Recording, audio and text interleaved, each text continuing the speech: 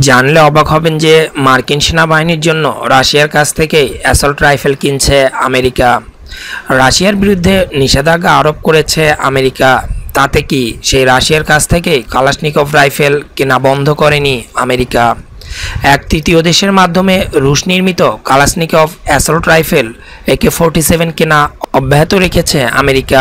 রাশিয়ার তৈরি এই অস্ত্র বিশ্বে সবথেকে জনপ্রিয় অস্ত্র হিসেবে বিবেচিত হয়, আর সেই কারণে আমেরিকার কাছেও এই অস্ত্র সবথেকে প্রয়োজনীয়। যদিও মার্কিন সেনাদের কাছে এটি অনিবার্য হয়ে উঠেছে দিনে দিনে। বিশেষ করে আফগানিস্তানে মোতায়েন মার্কিন বিশেষ বাহিনীর জন্য এই অস্ত্রের বিকল্প প্রায় নেই।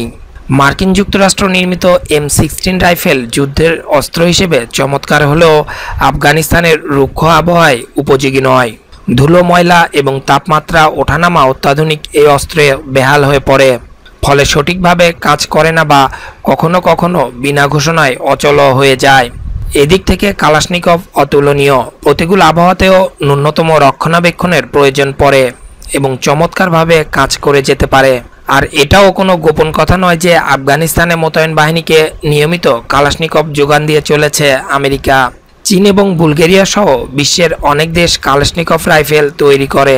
তবে এসব নকল রাইফেল গুণমানে এবং কার্যকরিতায় আসল কালাশনিকভের ধারের কাছে যাওয়ারও যোগ্যতা রাখে না।